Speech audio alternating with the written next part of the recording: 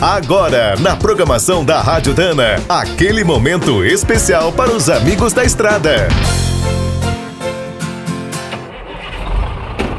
Está começando mais um Minuto do Caminhão. Fique por dentro das últimas notícias, histórias, dicas de manutenção e novas tecnologias. Os caminhoneiros veteranos com certeza se lembram dos grandes sustos que passavam com os péssimos faróis dos brutos antigos.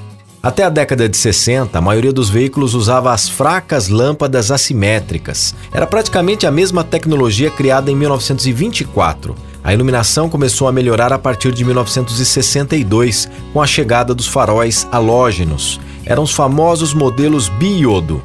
Atualmente, o sistema mais moderno usado nos caminhões nacionais é o Xenon. Sai de fábrica em alguns estradeiros da Scania e Volvo. Mas esse é apenas um primeiro passo. A iluminação automotiva está no meio de uma grande revolução e surpreende a cada dia. Em poucos anos, os brutos serão equipados com faróis e lanternas totalmente em LED. Alguns modelos usarão até versões a laser. Além de terem uma luz perfeita, esses sistemas serão inteligentes. Atuarão integrados aos rastreadores, câmeras, radares e freios poderão iluminar melhor as curvas, as subidas e descidas, o asfalto molhado, detectar obstáculos na pista e alertar os outros motoristas. A Mercedes-Benz está estudando até a luz interna da cabine. A ideia é ajudar o caminhoneiro na adaptação ao amanhecer e anoitecer. Quer saber mais sobre o mundo dos pesados? Visite minutodocaminhão.com.br. Aqui todo dia tem novidade para você.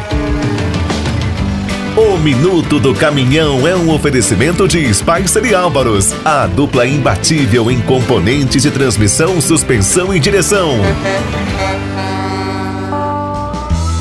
Quem é do trecho já sabe, para ficar bem informado, a Rádio Dana é sempre a melhor sintonia.